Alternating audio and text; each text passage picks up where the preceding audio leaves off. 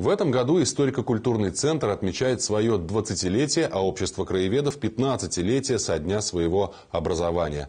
Муниципальные учреждения и общественную организацию объединяют общие интересы. За эти годы реализовано множество проектов, изданы книги по истории Видновского края и о людях, которые внесли большой вклад в его развитие.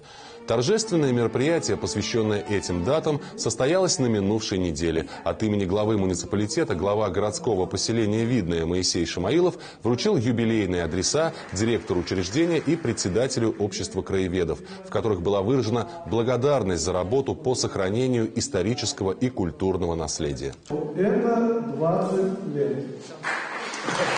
В этот день вручили памятные подарки и награды сотрудникам ИКЦ, которые своим небольшим коллективом выполняют все намеченные направления в работе учреждения, а их очень много. Это и концерты, и разнообразные встречи с интересными людьми, проведение выставок и тематических мероприятий. Я вижу, что я нужна.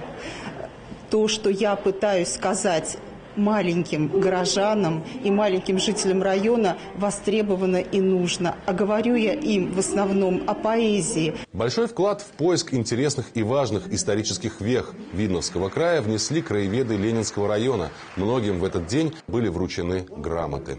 Меня всегда вдохновляли люди, когда я была молоденькой, совсем школьницей, которые своим, своей жизнью в мирской э, части всегда стремились оставить след, сделать э, пользу для окружающих.